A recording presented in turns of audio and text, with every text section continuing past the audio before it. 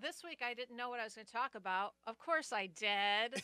But then the, the topic changed because Oh, yeah? somebody told me that I should talk about what a, a job that I did this week. Oh yeah, that's right. Yeah. And there's even a name for it. It was a boomerang child. Oh yeah. Yeah. What's a Mm. boomerang kid? it's They a kid who back. goes off to college Yeah. or at least and then comes back home and then the parents freak out.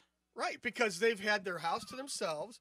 They're relaxed, and now there's this adult that living An with adult, yes, an That- adult. An adult that's living with them. Like, wait a minute. that Wait, you have to now I treat think like an I think. I know somebody like that. And you know what usually the cause of that is? They're not charging enough rent. Ah, ah, that's a good idea. Yes, there you go. I'm, I'm going to have to inst- implement that. Oh, so it's you we're talking No, about. no, no, no, no, no. no. But I have the same Oh yeah, yeah, yeah, yeah. He just went last week and got his daughter. And then I just went this week and helped her put her room back together. Which, yes, I, I, I can't. I don't know that there's enough. Did you money in take all the cuddly stuffed toys and put them away and put up like her new Ricky Gervais posters? Wow.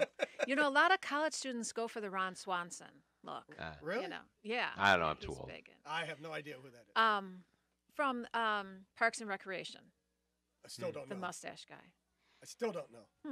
Interesting. Hmm. Okay, so a couple things about moving somebody back home. First of all, parents, get Yeah. all your stuff out of their room. Because we've taken it over. You've taken it over. and a lot of times people will use that room for luggage. Uh huh. I don't know why you did not in this case.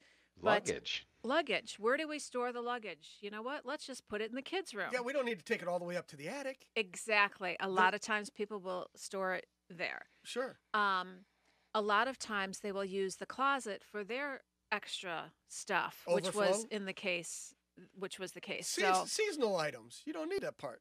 well, I'm just saying that Just it's very hard to put the child back into her room when the room is the closet is filled With, with other stuff. other people's stuff. Uh-huh. So that has to be moved out. okay.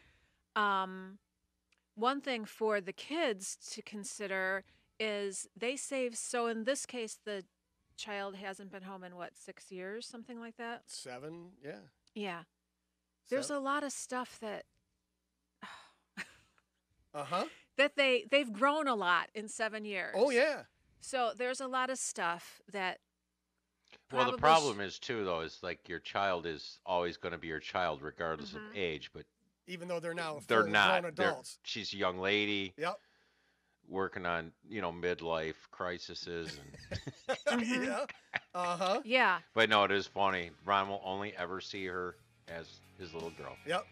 Aww. That's true. All I know it's so funny when you watch it. No, I mean I have parents, people I know, because you know I live where there's a lot of old people. Yep. So all us old people, they will talk about their kids like they're babies, and it's hilarious because they're All done. This All right, we'll be back right after this. Mighty We'll talk more about it. Mighty House will return.